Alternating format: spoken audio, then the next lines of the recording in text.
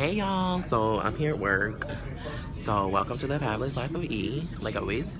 Um, either way, oh my god, y'all, it's like too freaking early right here, like way too early. I'm just like, what the, like, y'all see my hair? It's too early for this, way too early. So uh, I'm gonna die. So either way, until the next time, see ya.